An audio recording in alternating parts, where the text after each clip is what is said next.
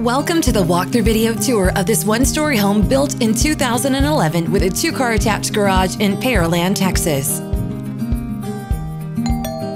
This is a beautiful Perry home right in Shadow Creek, one of the most popular floor plans with fresh paint, stainless steel appliances, and a granite counter in the kitchen. The back patio has a custom slab extension for backyard family gatherings. It's a beautiful home with calming tones throughout large rooms and lots of space and beautiful detail just waiting for you to make it your own. Please enjoy the virtual tour of this four bedroom, three full bathroom home with 2,520 square feet of living space.